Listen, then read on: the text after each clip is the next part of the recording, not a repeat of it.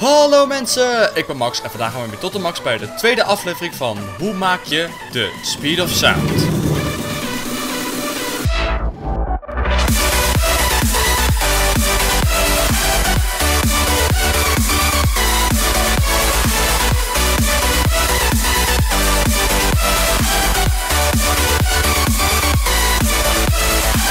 De plugins die je voor de techniek nodig hebt zijn BK Common Lip, Redstone Command, Wireless Redstone, Server Science en Train Cards.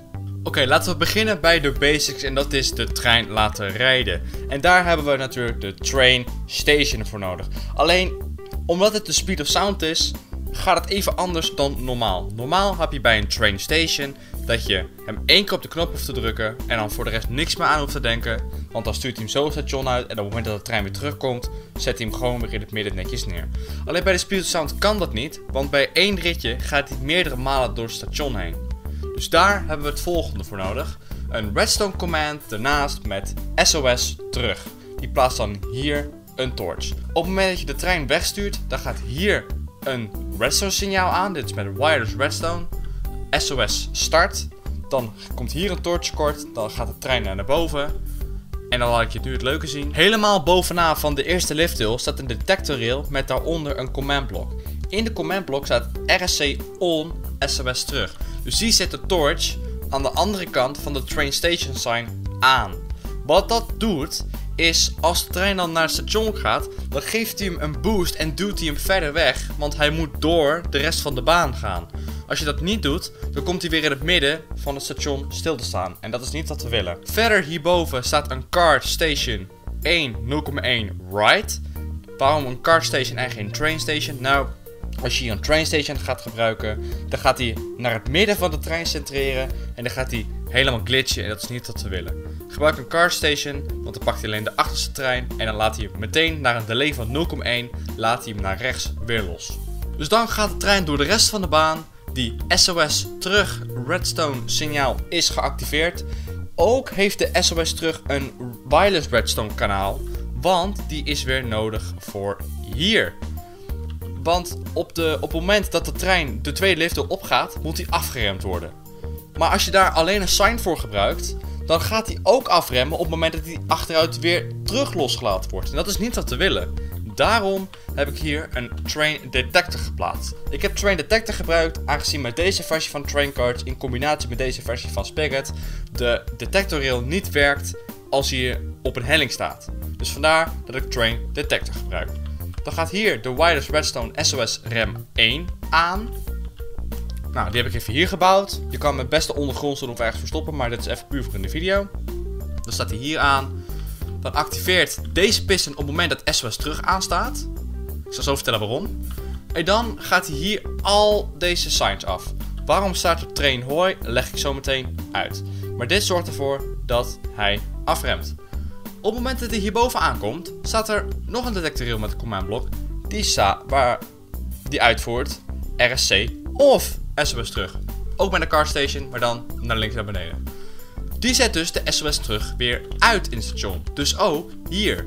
Waardoor deze redstone signaal zeg maar niet compleet is. Dus dit wordt allemaal niet meer uitgevoerd. Dus op het moment dat hij dan weer langs de detectorrail komt, of hier de train detector, wordt hij niet afgeremd. En dat is precies wat we willen bereiken. Ik had net al laten zien waarom er train hoi stond. Nou, hoi is de naam van de trein. Het is heel handig om de trein een naam te geven. Ik heb hem hier dus Train Property Setname Hoi. Het is het beste om hem SOS of dergelijke te noemen, maar dat is puur even voor de test. Om hem een naam te geven. Waarom? Nou, stel hier, het beugelsysteem. Die heeft in mijn geval al vier signs. Als je player enter ook nog eens wil veranderen, dan heb je zes signs. Het station en de trein van de Speed Sound, die zijn niet heel lang. Dus als je dit onder de baan wil plaatsen, neemt dat heel veel extra ruimte in die je eigenlijk niet hebt. Dus als je de train een naam geeft, heb je daar geen last van. Ook staat er train hoi sterretje. Dat heeft ermee te maken met een soort van extra instelling waar ik laatst achter mee kwam. Uh, op het moment dat je een train vernietigt, maar nog niet uit de config is gehaald, dan komt de tweede trein die hier overheen gaat, die heet dan hoi 1. Dus dit is een andere naam, dus dan werken die signs niet meer. Maar op het moment dat je daar dus een sterretje plaatst, dan werken ze wel nog. Oké, voor de poortjes heb ik een redstone command met SOS poortjes. Dan komt hier een torch, die activeert deze sign, wireless redstone. En onder deze poortjes zitten al deze signs als receivers. Dus die zitten precies onder de poortjes. Op het moment dat ze aangaan, gaan zo die poortjes open. Voor de beugel heb ik hier ook een redstone command. Hier zie je het, dat de torch aan is. Die activeert deze signs, dan gaat hij op deze stone, wordt de redstone signaal omgezet of omgedraaid. En dan worden deze signs geactiveerd op het moment dat deze torch uitstaat. Zo maak je dus een toggle voor de SOS beugels. Dan heb ik ook voor het inrangeren een redstone command die de WRT SOS inrang uitvoert. Die gaat naar de train spawner, laat ik zo meteen even zien. Maar waarom er een commandblok boven staat? Nou, hier komt dan de torch staan. Die activeert deze commandblok en die zet ook meteen dat kanaal weer uit. Op het moment dat je hem aan laat staan, moet je dan weer twee keer op die sign klikken. En dat is niet heel handig. Hetzelfde geldt hier ook voor het uitgangssysteem. Alleen heb ik hier geen wireless redstone, maar direct een sign die de train met de naam hoi sterretje destroyed. Voor de ingang heb ik ook een heel simpel iets gemaakt. Je hebt gewoon een redstone command met SOS inrang en die activeert command blocks met set block. Dus hij zet op drie verschillende coördinaten zet hij een fence neer en als je omdraait zet hij air neer. Dus dan haalt hij de fence weer weg. Nou, dit is hoe het eruit ziet. RSC SOS ingang. Komt er een fence, dan haalt hij hem weer weg. Fence, haalt hij hem weer weg. Zo maak je heel simpel een ingang. Het enige wat we dan nog over hebben, dat zijn de bediening. En de bediening, dat zijn dan deze signs. Ik heb gekozen om hier signs voor te gebruiken. Om signs te gebruiken heb je de plugin Server Signs nodig. En ik zal eventjes hier een test sign maken. Dus hallo YouTube. Even zo, dus even van misgaan, maar dat boeit niet. Oké, ehm, als we deze sign een command willen laten uitvoeren, dan doen we slash svs add en dan de command, dus slash uh, c hallo YouTube. Zo. Dan vraagt het dus om op rechtermuis op de sign waarop we de command willen koppelen te klikken. Nou, dan klikken we erop en dan de command was added successfully. Dus als we nu de heet op die sign klikken, voert hij de command uit. En dat is precies zoals we hier de bediening kunnen gaan uitvoeren. Zoals je ook zag, ik heb geen sign link. En dat is puur omdat het niet heel veel toevoegt aan deze tutorial. Het is een heel veel gebruikte plugin. En het is best wel duidelijk over hoe dat allemaal werkt. En dus heel veel mensen die weten dat allemaal al. Dus ik ga er niet een heel verhaal aan binden. Dat is heel makkelijk. En mochten jullie dat toch willen, dan kun je ook wat oudere video's van mij kijken waar ik het ook nog eens extra mee uitleg. Oké, ik heb de commands even gekoppeld aan de signs. Dus als we nu uitrangeren doen, dan gaat hij uit. Inrangeren, komt hij hier weer terecht. De ingang. Achter. Dan hebben we de poortjes. En beugels. Alleen de trein. uh, die staat even stil. E-, even, een zetje geven. Dat is misschien ook gewoon een goede om hier naar Powered Wheels neer te zetten.